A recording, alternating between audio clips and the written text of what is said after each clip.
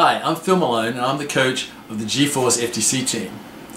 This video is going to show you the easiest way to set up your new ZTE phone that you'll be using with your FTC control system.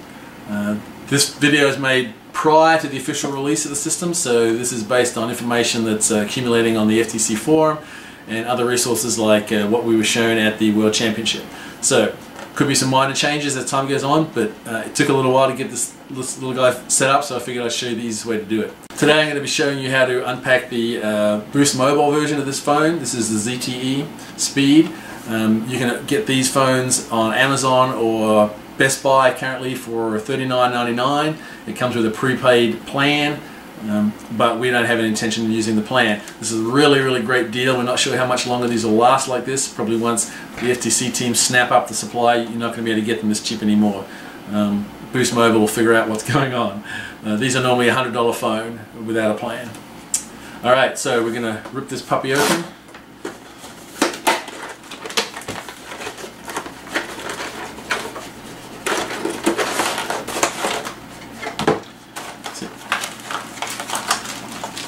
Comes with miscellaneous user guides. And open. Follow the instructions. The good news is this is not one of those horrible blister packs that you cut yourself open trying to use. Uh, the phone comes with a basic charger, cable, and this cable that comes with the phone is perfect for plugging into your PC to do development, so don't lose that. So the first thing we're going to do is pop the back open to take out the SIM card. This back comes off pretty easily, just apply some fingernails around the edges. I would recommend not using a screwdriver for this because you don't want to damage any of the internals.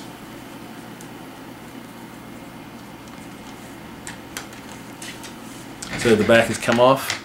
And you see in here right here there's a little card. If I push that in click it in and then pull it out. So this phone is now longer no longer able to uh, connect to a, uh, a, a, cellular network. I'm going to put the cover back on. And the other thing is there's actually a little clear cover on here. I found that that actually makes the phone kind of hard to use so take that off before you start configuring it alright so now I'm going to power this guy up and uh, show you how it works So in order to start up the phone, you need to press and hold the button on the top right hand corner. So I'm going to do that. And you get the boot screen. Uh, this is the initial screen. Uh, this will change over to the Android startup screen, at which point it will then prompt you for some uh, accessibility information. So we're going to uh, zoom past this and see what happens when the main screen comes up.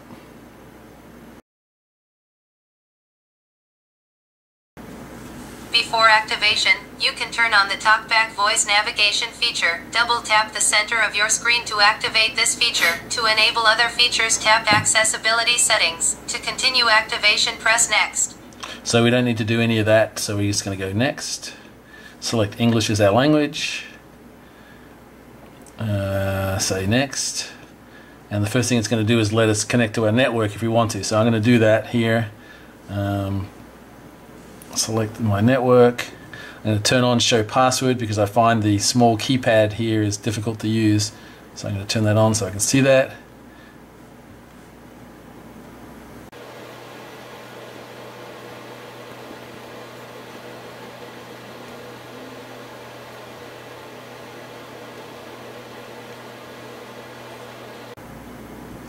Connect to my network.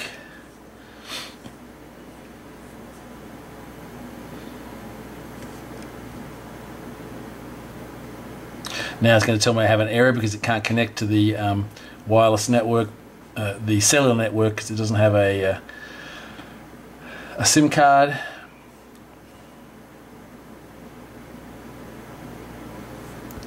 Do these all again. You can wait for them to go away. You can just click the button.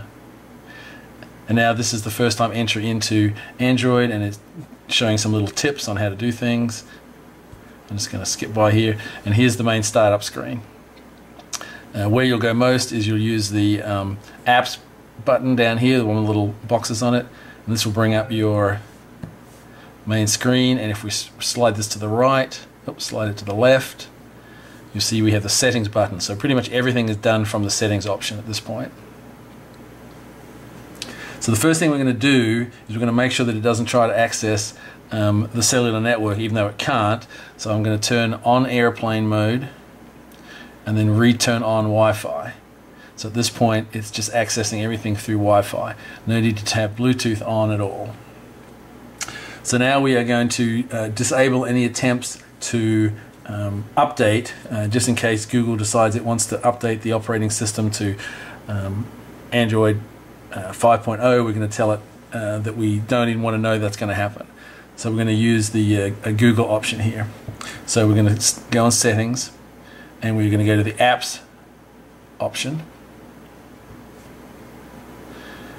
and we're going to go to all and it will provide a list of all the apps that are currently on the machine without with or without running. We're going to scroll down to Google Services Framework. Google Services Framework. Select that. And we're going to turn off Show Notifications. So even if it does decide to uh, find out about updates, it won't tell us about them. I'm not sure the consequences of dis disabling this altogether. I guess that's an experiment for a later time. So we're going to go back, hit my back button here, and back again. So the next thing we want to do is we want to set up the ability to use this uh, phone with Android Studios and to do that we need to enable the ADB interface, Android Debugger Bridge. Uh, and we do this by uh, becoming a software developer. So the first thing you notice if you scroll down through this list here, uh, there is no software development uh, options. So we need to activate this feature. So we go down to About Phone, select that, slide down to Software Version, and we need to hit this seven times. One, two, three, and now it's going to do a countdown. Four, five, six, seven. So it says now I am a developer. So if I hit the back button here now, you'll see there's a new developer options menu under system. So we're going to go into developer options and we are going to enable USB debugging. And we say yes, we want to do that. So at this point we are enabled and we are ready to go there. So the only other thing we need to do here is we need to um, make sure that when we plug into a PC or other device, the drivers are there to support the, uh, U, the developer bridge, debugging bridge.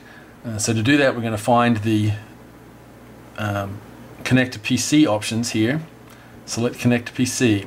And there's several options here. Currently, media device is selected. That means that if we were to plug this into the PC now, it would just assume that it's a flash drive and it would be able to download files and images and stuff like that. We really don't want it to do that. What we want to do is we want to install uh, the drivers so that we can use it um, for ADB. Oh, wake up here. Oops, sorry. Uh, back. All right, so what we're going to do is we're going to select install driver. I'm just going to go back in there and verify that was selected install driver. What this means is that the next time we plug this into the PC, the phone is going to attempt to make sure that the correct drivers are installed for the ADB interface. Uh, and so we're pretty much done there and enable USB, USB debugging is still active. So we're going to hit the back here.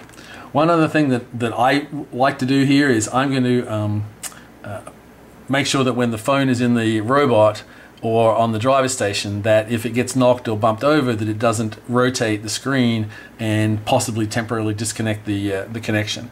So what I'm going to do here is I'm going to go into display and I'm going to turn off auto rotate. By doing this the phone will always keep in the uh, portrait mode uh, so once we start running the apps they'll stay running all the time. Uh, back. Alright, so at this point we're ready to plug the device into the PC and make sure the drivers are installed. So now I'm going to show you what happens when you connect your phone to your PC. So I'm going to turn this on, press to activate the screen. It's just standard USB, this is the cable that came with the phone, plug it in on the left hand side. Alright, so it's done several things. See it's brought up um, a driver to install on the screen. It may that may happen. That may take a few seconds before that happens. And it's brought me to my connect to PC page here. and it's knowing it's doing it's bringing the driver up because I've got install driver. Something to note here is that once you've done this once and the driver's running on your machine, you may want to change this setting back to charge only so it doesn't bring the screen up each time and doesn't pop up the driver. Uh, but at this point I will just follow the screen here and run the install.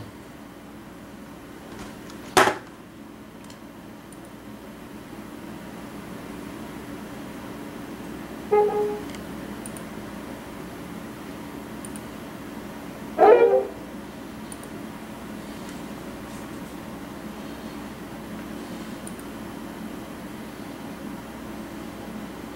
just answering all the questions with a yes, basically.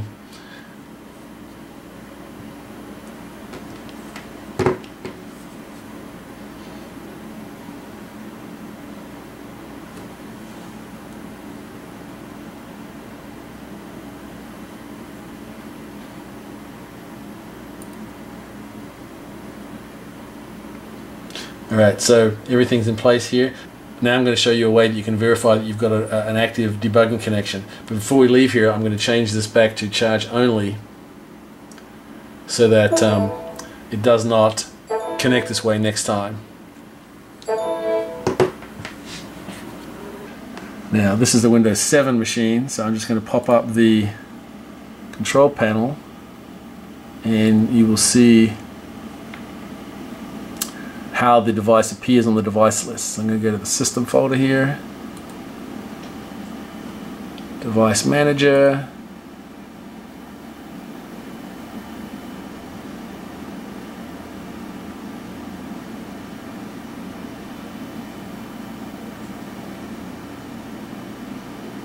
and at the top here you'll see there's an Android phone and there's our phone.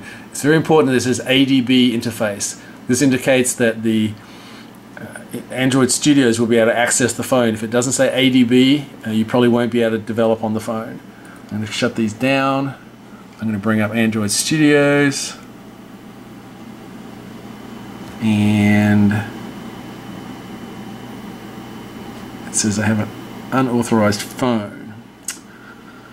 Alright, so the reason this phone is unauthorized is because when you first connect the phone to the computer, it should verify that you uh, agree to connect to the computer. So I'm gonna what I'm gonna do here is I'm gonna disconnect the phone. Well, first I'll turn it on, I guess.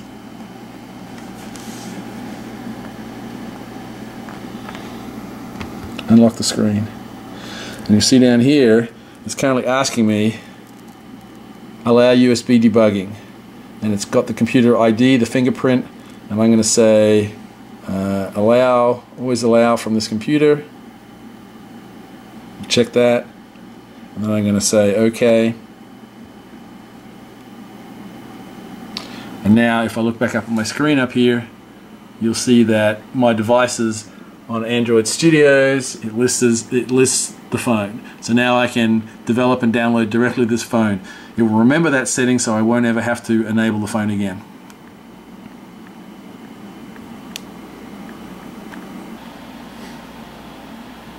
So, I hope this has helped you get your ZTE speed phone from this to this and uh, stay tuned and we'll try and produce some more videos to show you how to use this new system with your FTC robot. Thanks very much.